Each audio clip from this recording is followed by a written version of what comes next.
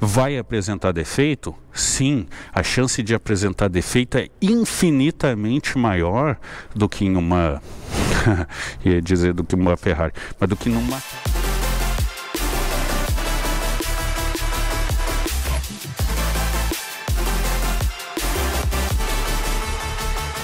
Opa, pessoal, tudo bem? Flávio Dil, aqui ó, da AIK Motos. Então, hoje a gente vai falar aí mais uma vez sobre as Royal Enfield. Vamos falar real sobre a Royal Enfield. Se você aí uh, tá querendo comprar essa moto, mas tá com muitas dúvidas aí com relação ao que você tem visto aí de alguns alguns influencers em que você uh, escuta por aí. Vamos falar da, da mecânica dessa moto, vamos falar de alguns algumas características, tá pessoal? Não, não é defeito, tem muita gente que confunde defeito com característica. Vamos falar geral da Royal Enfield para que você possa então tomar a sua melhor decisão na compra de uma Royal Enfield, tá ok? Gente, uh, de saída e resolvi fazer esse vídeo até por conta de outro vídeo que estava rolando que eu fiz um, um vídeo da Honda CG, que talvez eu acho que é a, a moto mais, mais falada aí no Brasil, que dizia esse meu vídeo na né, Honda CG, motor de plástico, onde eu traço várias considerações sobre sobre essa lenda que existe do motor da CG, tá? Tem alguns aí que dizem que é motor de plástico e a gente provou aí por A mais B porque que a coisa não é bem assim.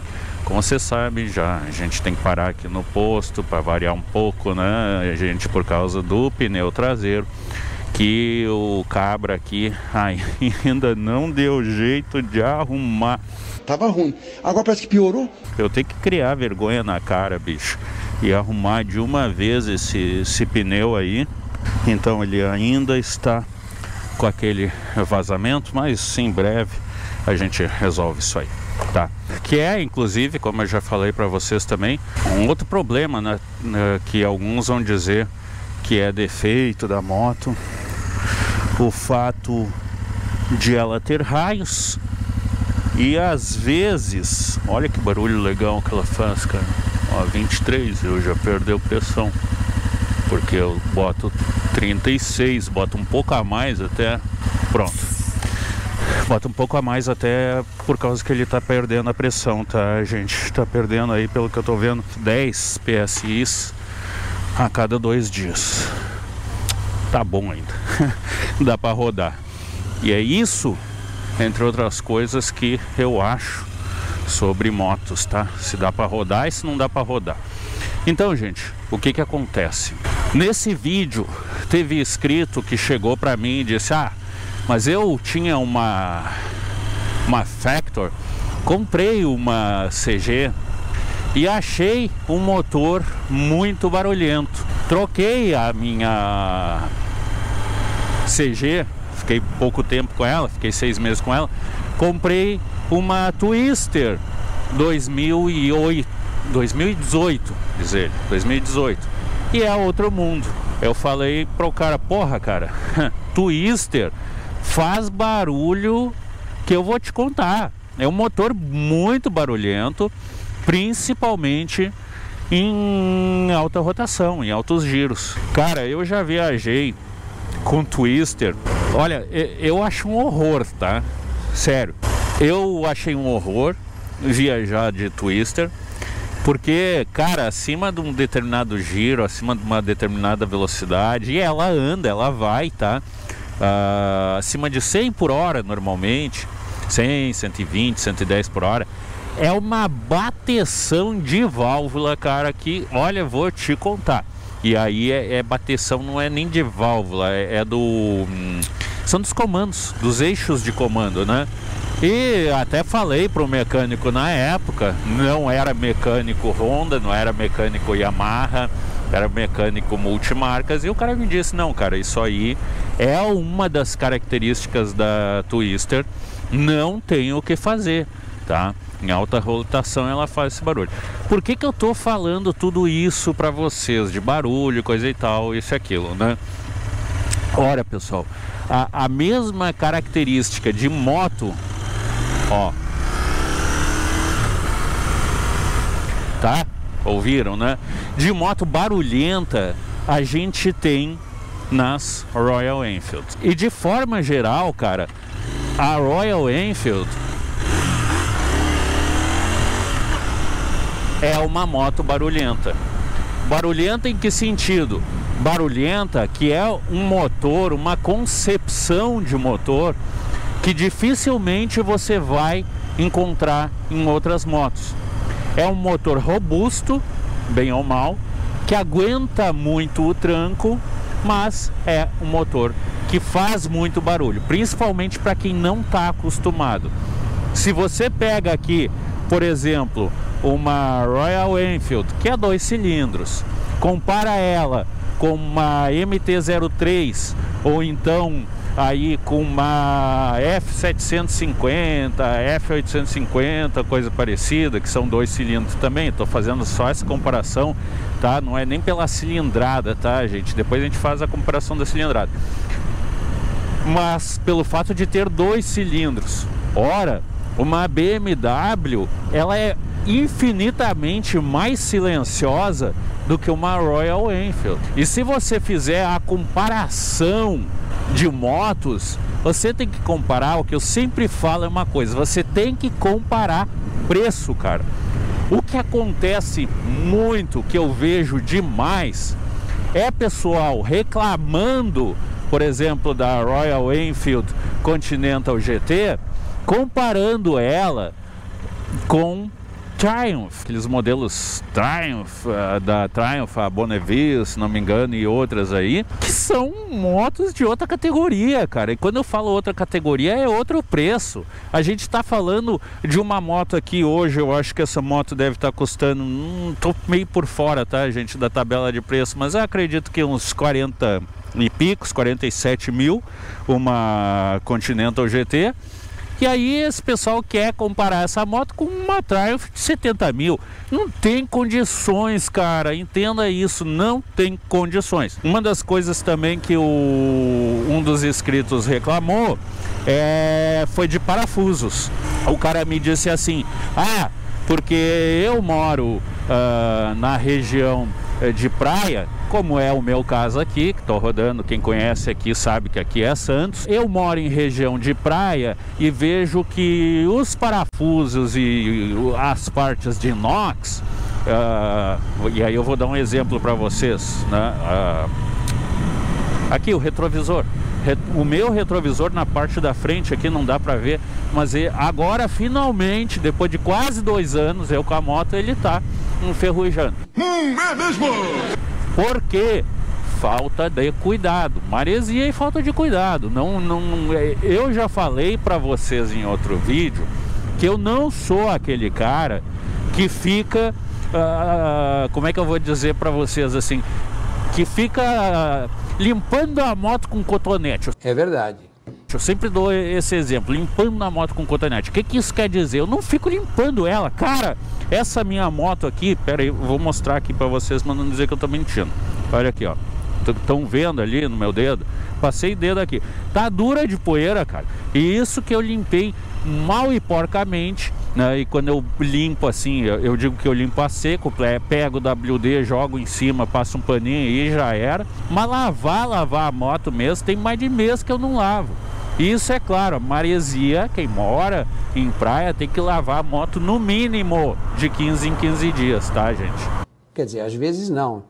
Quer preservar a moto, quer ver ela livre de ferrugem, 15 em 15 dias e ainda usando o WD. tá? Então, esse cara me falou isso, ah, porque os parafusos da moto estão enferrujando, isso e aquilo, bibi, bobobó, não, o resto da moto não, o motor tá tudo bem, coisa e tal, mas eu não gosto porque fica enferrujando. Cara, vamos lá, de novo, é óbvio que se você uh, mora em região de praia, a ferrugem vai atacar mais. Né? Ferrugem em praia, cara, maresia na verdade, né? É, é uma desgraça. Quem mora na praia sabe disso. E não é Royal não, cara, é qualquer moto. Esse é o ponto. E aí o que eu falei para ele foi o seguinte, cara, faz o seguinte, pega esses parafusos, os meus estão bem, bem aqui, ó, mas podiam estar tá enferrujados, tá? Podiam sim. Pega esses parafusos e troca eles por parafusos de inox que você não vai ter mais esse problema. Mas por que, que eu estou dizendo tudo isso para vocês, né, gente? Porque é uma questão de característica da moto.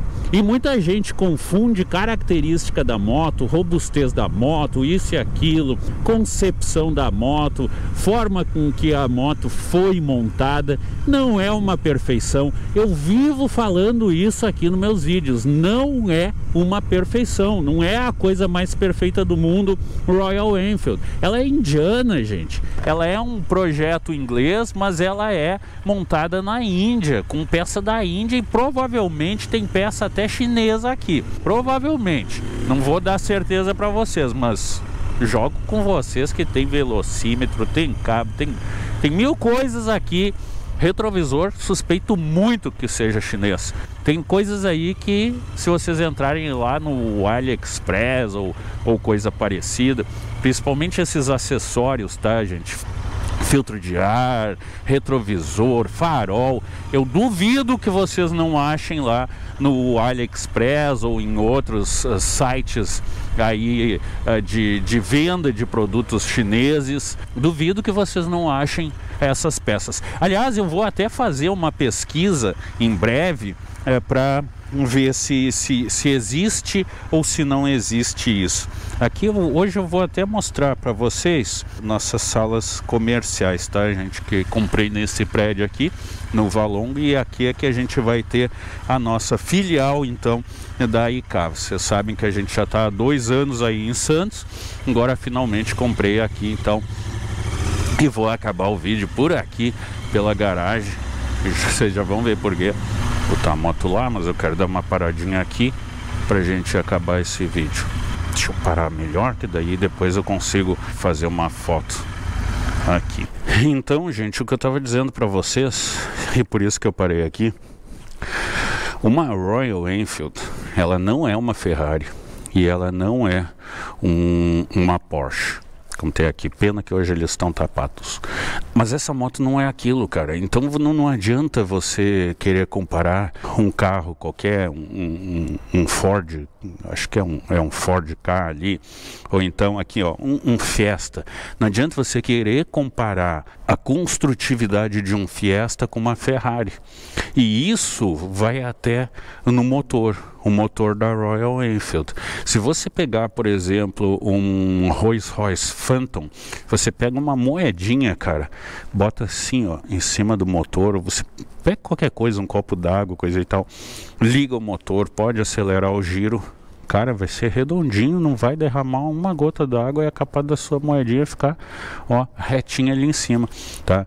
Por quê? Construção, e claro, isso tem a ver com o preço. Então, uma construção de uma Ferrari, nunca você vai chegar perto de um Fiesta, por exemplo. E é isso que precisa ser entendido, esse conceito, essa brutalidade de uma Royal Enfield. Vai apresentar defeito? Sim, a chance de apresentar defeito é infinitamente maior do que em uma ia dizer do que uma Ferrari, mas do que numa Triumph, por exemplo. Por quê? Porque você está pagando um preço muito maior. Então, defeitos aí que tem e que nós já tivemos aqui, vou dar um exemplo para vocês, não sei se vocês lembram, caiu o parafuso, a porca, uh, tem um vídeo, vou deixar aqui em cima para vocês, do eixo, porque estava mal apertado e coisa e tal, coisa e tal, né? E tem muita gente, ah, você poderia ter morrido, coisa e tal. Não, cara, eu tenho experiência em motociclismo. E aliás, eu digo, esse tipo de moto, essa Royal Enfield, é moto para quem tem experiência. Se você não tem experiência, se você não entende nada de moto, eu não recomendo que a Royal Enfield seja a sua primeira moto. É uma moto acessível, é uma moto mais barata? Não, mas com 40 mil posso comprar uma moto dessa usada e eu posso ter um motão.